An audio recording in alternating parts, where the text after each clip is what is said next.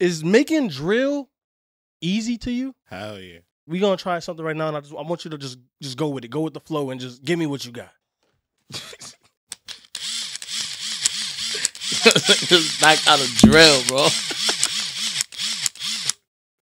Oh, bro, what did you on Bob the Building? You ready? You just pulled up to the interview with a drill. Damn. Damn. Woke in the spot. Now I'm lit. Like, all these bitches on my dick. yeah, that was easy. That was fun. That shit is light, bro. Yeah. That shit was fun. Oh, we should. We might have to stew after this. ah. They used to call me K Osama, but I think it might be K Ball. Nah, they never called you